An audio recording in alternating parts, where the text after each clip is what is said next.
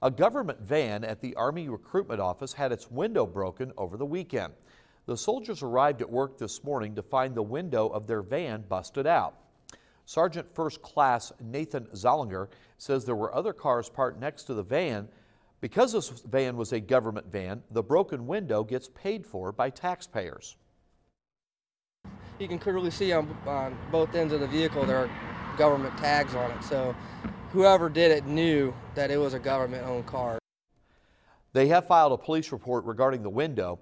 Nothing was stolen from the vehicle. They usually only have brochures left in them anyway.